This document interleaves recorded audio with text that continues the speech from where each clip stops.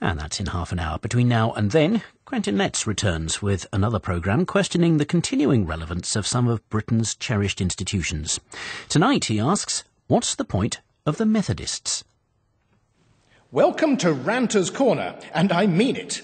I'm in Cheshire at a museum of Methodism, and around me are various exhibits about the early 19th century Methodist preachers who stood on carts in the open air and preached, technical term ranted, at the masses. In its heyday, Methodism was an itchy, invigorating force, not just in religious life, but also in politics, here and abroad. It defied, challenged, transformed the establishment. It laid the foundations of trade unionism, the Labour Party, and maybe even Thatcherism. Along the way, it gave us temperance and some of the great marching hymns of Christendom. Yet Methodism has waned. It has lost a third of its members in the last ten years. So, should it go gently into the good night, throw in its lot with the C of E, or does it still have something distinctive to offer? What's the point of the Methodists? no, you do it, love. Want me to do it? Yeah, yeah, it's easier. So what's the question again? What's the point of a Methodist? Probably it's in the word. We have a method. To share God with everybody for me, it's, it's about social justice. Transforming the world. To take forward John and Charles Wesley's original thoughts. Sons of a Lincolnshire rector, the brothers Wesley began a holy club in Oxford, which earned them the mocking title Methodist for their methodical approach to life and the Bible. Their movement is now a worldwide church with 80 million members. But John and Charles themselves remained Church of England clergymen to the end. The point of Methodism for them was not to found a new institution, but to reform from within a flaccid Anglican establishment. The C of E at that time was corrupt, larded with land and livings, more gripped by cathedral politics than ministering to the poor.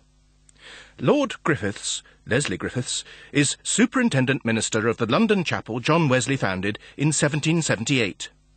Well, he was a little man, five foot two, he had in some way absorbed all the best of a formal Anglican priest's training, but had on top of that um, somehow found an extra ingredient that uh, came out of his conversion and turned him into a man who simply looked in all directions at the same time for opportunities to share the message he had to give. You count, in his days it was called you are saved, but you count, you are valued in the sight of your Maker, and I want to find the right way to tell you that. And, and the, the established church at that point had slightly forgotten that message. Oh, they were antagonistic. Indeed, they summed it up with one word, and in the 18th century, the age of reason, it was the one kind of almost a swear word if applied to um, a clergyman. He was an enthusiast. Uh-uh. Enthusiasm was considered to be a sin, and uh, he was an enthusiast. This Methodist enthusiasm exploded in communal singing. For many Methodists, that remains their distinctive stamp. The fluorescence of Victorian hymn writing was powered by John's brother Charles, who wrote 6,000 hymns. Hark the Herald!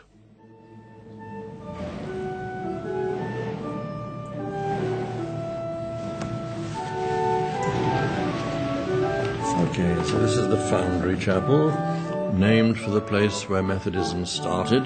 An old government foundry it was.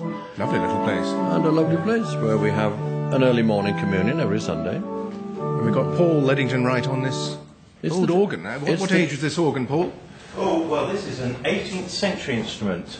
Um, belonging to Charles Wesley, and very similar to the sort of instruments that Handel would have been familiar with and how does this little beauty play? She sounds pretty good. It's still going very nicely. So one keyboard. One keyboard. One it's only and, and just two. over four octaves. Two stops. There's a little flute stop. Very pretty. And uh, a principal, which is a metal stop. You can put them together and you get two stops. What are the best known Methodist hymns? I think one of the key hymns uh, has to be "O for a Thousand Tongues to Sing." There are several tunes to it. There's one that I was playing called Lydia when you came in, yes. and there's another one called Lyngham, which Methodists like to sing. Yes. Um, quite jaunty. but if you they go- go in for a bit of syncopation. Oh, don't they? absolutely. Whereas And, the, the uh, traditional Anglican was a bit a, was suspicious of syncopation. I mean, prob- probably if you go into Anglican Cathedral, I mean, yesterday morning I played it in Coventry Cathedral, and this was the tune. Which is very nice, Richmond, but it's, it's far more stately, isn't it, and stoic than the Lyngham and Lydia tunes, which is what the I- I- I like sing. both. Well, that's all great fun, isn't it? But what? So th- there's this liveliness about uh, Methodist hymns. What effect did these these hymns have? I would have thought it was an enthusiasm, a great involvement, and a real sense of emotion that came through so much of it. That word enthusiasm again. Hymns gave congregants a voice. They democratised worship. It all became a bit much for Church of England snoots in their chancels. And after John Wesley's death in 1791, the gulf between Anglicans and Methodists widened still further. It all became a bit much for the loftier Methodists, too. As they became more respectable, they found themselves less eager to rattle the establishment cage. So they stopped their practice of open-air preaching. Women who had been permitted to preach were denied the pulpit. As happens with splinter groups, further splintering ensued. The movement that had set out to reform the Church of England spawned another movement, which sought to revive Methodist radicalism. Lovely day in Cheshire, near Crewe. Here we are at the Englesea Brook Chapel and Museum. Jill Barber, you're the curator here. Yes. Tell me all about this place. Right, well, we're the Museum of Primitive Methodism. Primitive Methodism was a working class movement that began here on the North Staffordshire Cheshire border at the beginning of the 19th century. And this 19th century milk cart is just the sort of thing that preachers would use to stand on. Yes. And you can see the pictures behind it. Ranters of- Corner. That's right. That Sounds was like the sort of place parliamentary sketch writers go. Why ranters? Ranters was the nickname that the primitive Methodists were given, very much because of their enthusiasm. They were noisy. This is all about the first camp meeting, that it was an American idea that came over. A bit like Billy Graham. Yes, yes, very much. What year is this? 1807 was the very oh first camp meeting. So it was a real sort of fairground atmosphere. Like This was- Glastonbury. Yes, it was. And the primitive Methodists arose in this, this area where there's no church at all, completely as they saw outside any knowledge of the love of God. And so the open air preaching was a response to going to where the people were, going back to the early form of Methodism as practiced by John Wesley. John Wesley's mission was to reach out to touch the poor, convert them, educate them, sober them up. But, high Tory that he was, Wesley retained a conservative's caution. He had been horrified by events in revolutionary France, where the term left wing originated. But the primitive Methodists were undoubtedly that. Yes, lefties. These were illiterate men. They'd started work at five or six years old. So at first, through the chapels, they learned to read. And through the chapels, they learned the skills, public speaking, because they became local preachers. There was no training. As soon as you had an experience of the love of God, stand up and share your story, brother or sister. So you learnt how to speak, how to uh, get a crowd. And they took the organisation they knew, the way Methodist chapels were organised, into the workplace, and that became the basis of the trade union movement.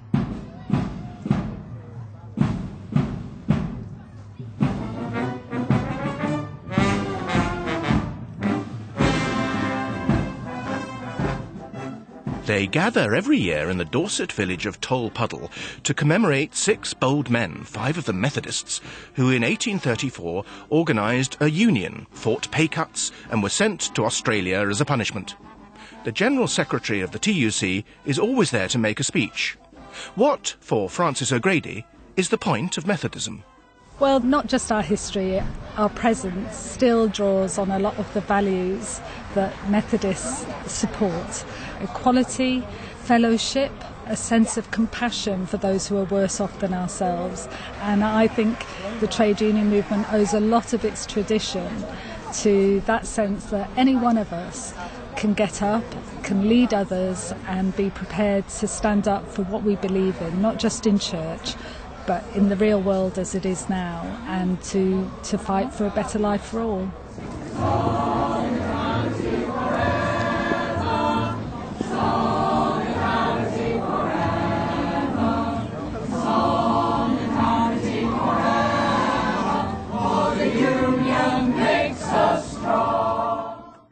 Did Methodism foment political unrest, or did Methodism provide a steam vent?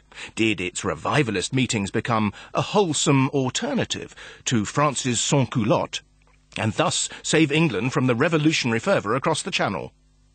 Historians disagree, but they do agree that both in ideology and in organisation, the Labour Party, founded in 1900, owes much to Methodism.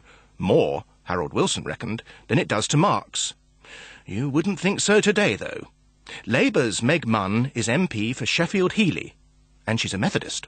I would say that there's far less perhaps now of a, a, formal link between the Methodist Church and the Labour Party, but there are plenty of people, uh, certainly within the Methodist Church, who would associate themselves with Labour values. Perhaps it goes a little bit less the other way round, but that tradition of social action and being concerned about the community is still at the heart of Methodism.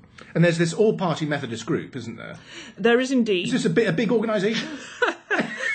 Um, a big congregation? No. No. To, to, to be fair, we actually have to ask a few Anglicans to loan us their names in order to get the qualifying 20. So we are a small, but I would say perfectly formed group. But this is sad, isn't it? Because here is a church which has really had a lot to do with the setting up of the Labour movement. And yet now it's it's shriveled a bit. Yes, that probably is sad. Maybe we need to stir up more Methodists to get active actually in politics rather than just within their communities. Don't forget, I had a Methodist upbringing, and in those days, Methodism was very, very strict. Margaret Roberts, daughter of a strictly Methodist grocer, preached on the student circuit long before she turned to politics. And Methodism was, you were brought up really to work and not to um, enjoy yourself too much other than working. You know, you never went to things for the purpose of enjoyment. You got your enjoyment by doing things for other people. You were taught to be responsible, to be truthful, to support the police, to live within your income, to be a good citizen, to do things for other people. Just the way everyone should. And those standards have stayed with me all my life. Labour Methodists may bristle at the suggestion that Thatcherism embodies principles of their church, but self-reliance, aspiration, a handbagging iconoclasm towards vested interests, were these principles not snortingly Methodist?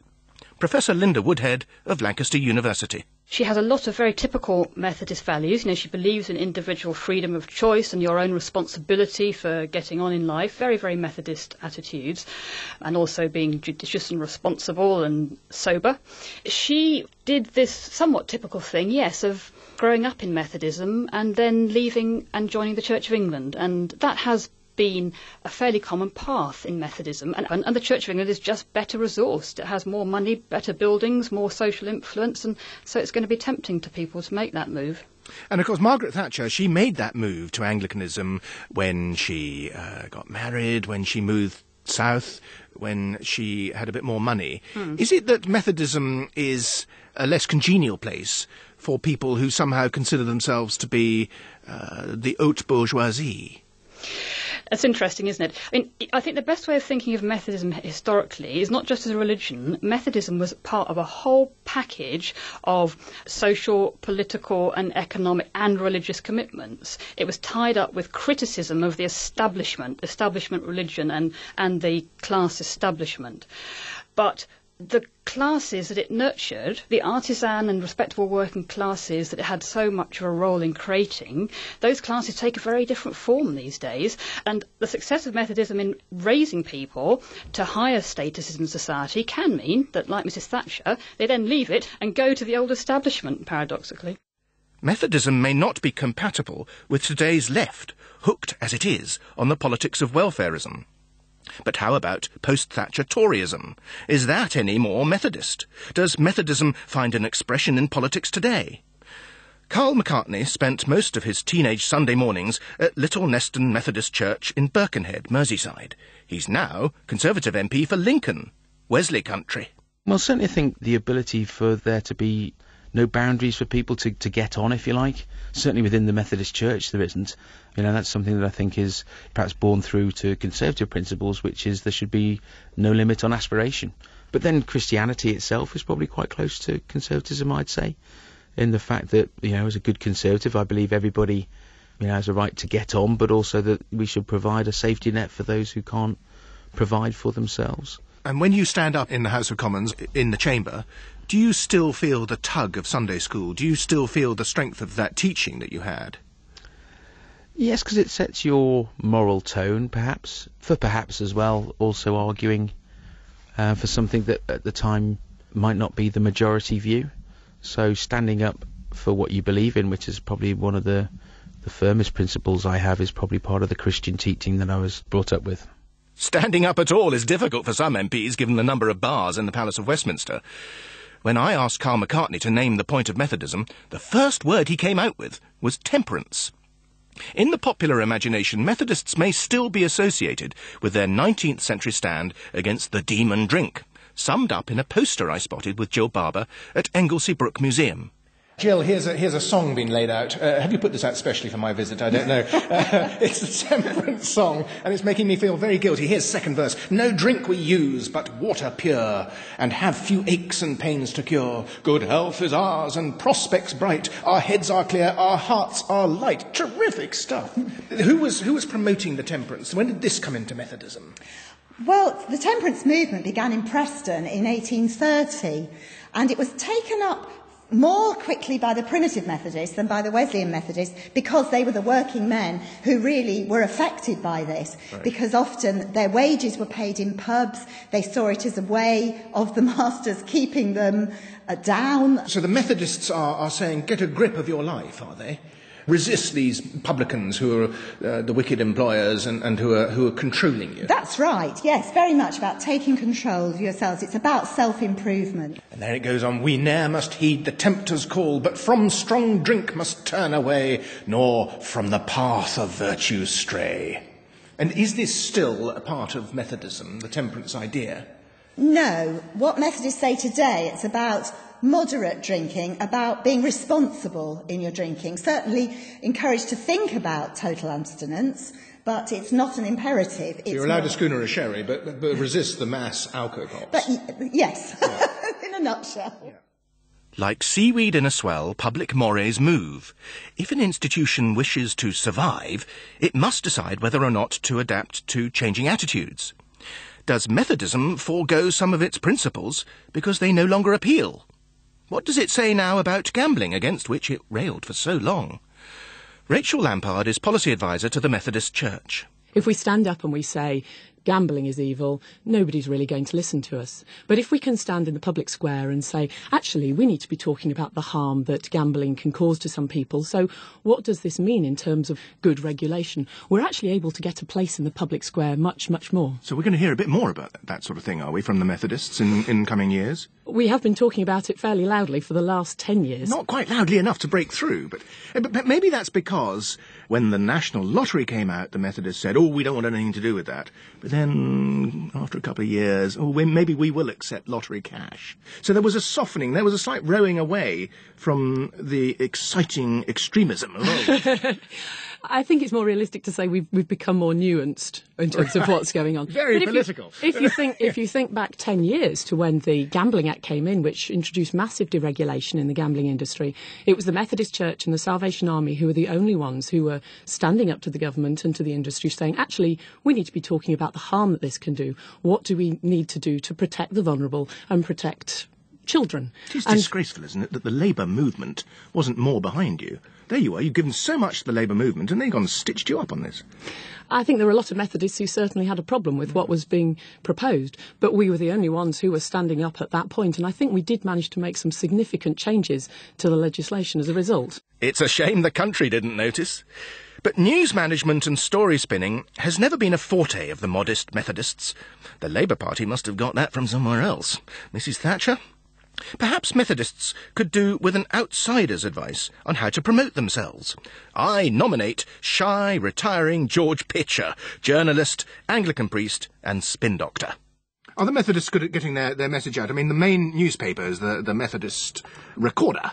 Let me just call it up on, uh, look at their website here, because, um, uh, that's Yes. that's modern communications, isn't it? Here we well, are. you brought, all the you mod a, cons. you brought a laptop. uh, I'm. Uh, impressed. uh, here we are. Methodist recorder. Shall I press on that yes, and see what we get? Oh. Click on it. You don't press on it. We get a rather boring page. Oh, that is dull. That just tells us its address uh, and the telephone number for advertisements and uh, an address for subscriptions. At the That- heart of Methodism. Well, where, where would you expect it to be? In the Yeah. spleen of Methodism? I don't know. That's not a very user-friendly web page. It isn't. What should they be doing? I think newspapers are a bit spent, really. Other You mustn't than, say that to me. Other than other than the fine organ you work for, Yeah, uh, but- Quentin. But really, they should be online, shouldn't they? Getting their message across to the youth of today. None of whom are spending one pound sixty or whatever it is to pick up a newspaper. They're online. Two pound sixty, I think. I haven't bought one since 1978. Methodism did, alas, make certain headlines in recent months.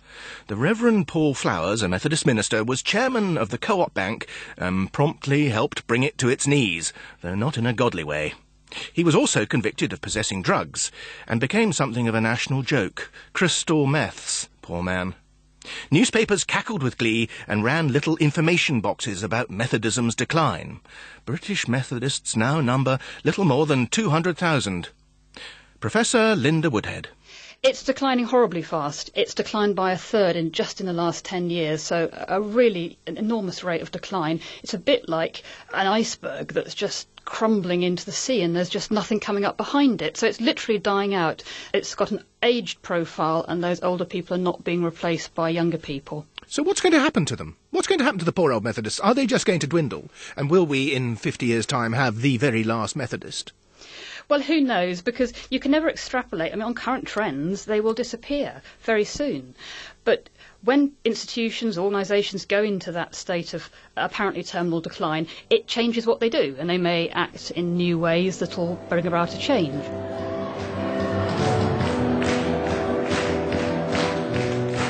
But what's this? Hold the front page. The Methodists have a new church in Warrington. It's called New Song, and it's going gangbusters. Last month, it welcomed 40 new members. Its lead singer, uh, I I mean stand-up comic, I mean minister, is Jackie Belfield. Sorry. Was that a bit of a surprise? Are you okay then, Bolton? You're alright, I know it's hard to admit. We found that people were coming to New Song that had no other church expression, and we had a responsibility to care for them and nurture them. And so, from the idea five years ago of having cake and coffee and music, has come this growing church community of people who want to be together, to worship God and to grow together in faith. I think it's fair to say that in not just Methodist churches, but most churches, we know the process of closing them, we know that verbatim. The process of starting a new church, that kind of made us frown a little bit and scratch our heads.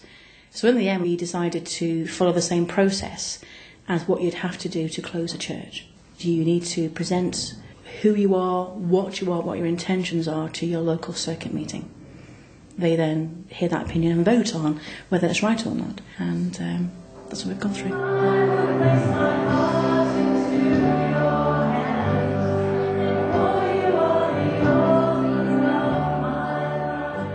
The point of Methodism, as ever, is social action and song.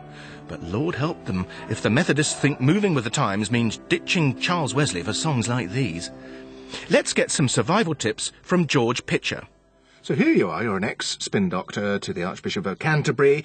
I am your client, I am the Methodist Church. I'm saying, save us, George. What is your professional advice? Let me say first, Quentin, that I don't think I'm a very good spin doctor because the Archbishop of Canterbury actually fired me. Um, but uh, I, I might get fired uh, for the following advice, therefore, which is to go, look, we'd be stronger together than we are apart, so let's go for it. Anglicans and Methodists have been eyeing each other up for the best part of 50 years. In 2003, they signed a covenant, committing themselves to working together more closely. They're still talking about what it means in practice. Some arid Anglicans still have difficulty accepting Methodist ministers as proper clergy. Some Methodists still balk at the idea of bishops. But today's C of E has changed. The need for both churches to survive is now concentrating minds. Ken Howcroft chairs the Methodist Conference. The most ecumenical place in England is probably Cumbria, where they had foot and mouth, where they had the Keswick shootings, where there have been a number of crises which have forced the churches to work together, and then they realised that they each had the same problem, and in some villages, the parish church and the Methodist church were all about to go out of business simultaneously, leaving no Christian presence, and so they actually need to think about one church taking the lead in one place on behalf of all the churches. Then you come against the problem that the Church of England has said that my ministry, for example, is authentic and valid and fruitful, but because a bishop did not lay hands on me when I was ordained, I cannot preside at a communion service in a parish church. What have you Methodists got against bishops? You've got to have leaders in any church, don't you? You have to have leaders. Our problem is it's a whole set of history. We defined ourselves for a long time as not being the Church of England and yes. actually having fallen out of the Church of England. And to be frank, the stereotype of bishops living in palaces, ordering people what to do and treating lower class churches with total disdain had enough truth about it for that stereotype to keep really, being reinforced. But we said for 40 years we're prepared to have bishops. We just have to get around to doing it. Where do you think it's going to go? Do you think you will become one? Yes, though it depends what you mean by one. If the Church of England can become the church in England, then Methodism can take its place as a movement of people who are highly committed to personal and social holiness inside a wider church. But if the Church of England stays as the church of England, then the danger is that our own particular genius will get snuffed out. Methodism was never vain. Taking a practical, methodical approach, it marched into barns and factories, exhorting folk to make the most of themselves, to make their lives sing. The Methodist Church worldwide may be flourishing, but here in Britain, unless we are to lose a once great institution, our leaders should chew hard on the point of Methodism. Materially ours may seem a ripe age. We have never been so rich, so fat, so atheistic. Has it brought strength and happiness? Islam prospers by preaching self-discipline. Aspiration, moderation, solidarity, these are also historic Methodist virtues. Today's political parties and the moist Anglican hierarchy have become reluctant to judge. Might there not yet be a very modern point for Methodism to inject some radical self-discipline in British life and thus help the poor? Whether or not they organise independently or within the Anglican Communion, I hope that there will always be a positive answer to the Charles Wesley hymn which Methodists still sing without irony at their annual conference. And are we yet alive? And are we yet